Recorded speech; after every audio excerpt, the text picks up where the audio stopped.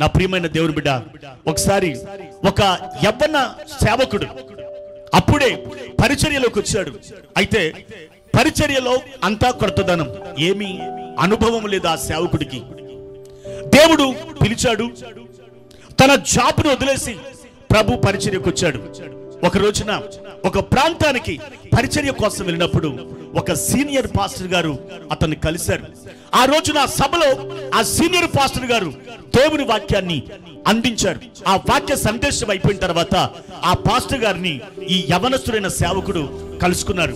కొద్దిసేపు మాట్లాడిన తర్వాత ఒక మాట అడిగాడు. అయ్యా నేను నా పరుగు పందాన్ని విజయవంతంగా ముగించాలంటే మీరిచ్చే సలహా ఏదైనా ఉన్నదా?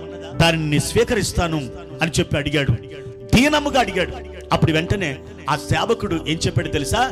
భుజం మీద చేతులేసి బాబు ప్రతిరోజు కూడా దేవా నీ కృప నీ కృప నీ కృప అని పలుకుతూ దేవుని కృపకు నిన్ను నీవు అప్పగించుకున్నట్టయితే దేవా నీ కృప కావాలి అని దేవుని మీద ఆనుకున్నట్టయితే నీ పరుగు పందాన్ని విజయవంతంగా తుదముట్టించగలుగుతావు అని ఆ సీనియర్ పాస్ట్ గారు ఈ యవన దైవ సేవకుడికి ఒక సలహాగా ఇచ్చాడు. ఆ రోజు నుండి ఆ యవనస్తుడైనటువంటి సేవకుడు ఎప్పుడు కూడా ప్రతిరోజు లేచిన వెంటనే దేవా నీ కృప నాకు కావాలయ్యా.